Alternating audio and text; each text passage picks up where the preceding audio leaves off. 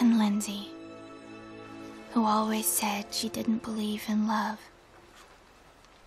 found it anyway.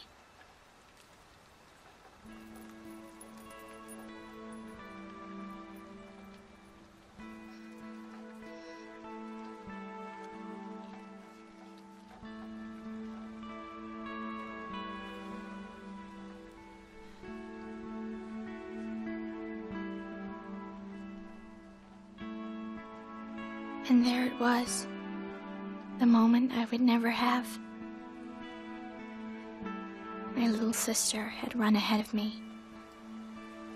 She was growing up.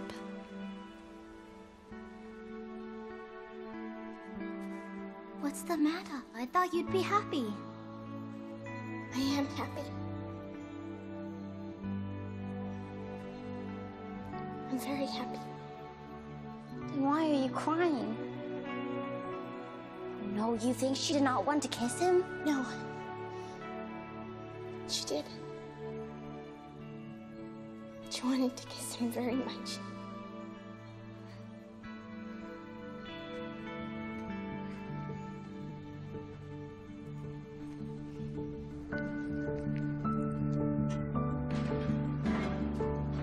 Always, I would watch Ray.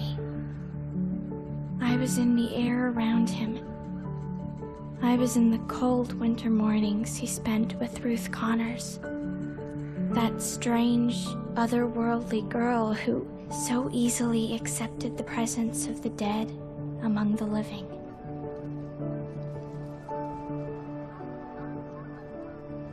And sometimes Ray would think of me.